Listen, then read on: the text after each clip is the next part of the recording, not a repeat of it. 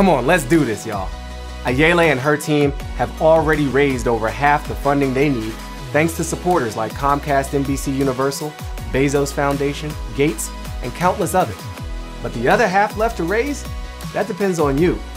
So go to build.org slash donate and I don't know, you could make a monthly donation. You could make a one-time $25 donation. You could make a monthly $25,000 donation or more.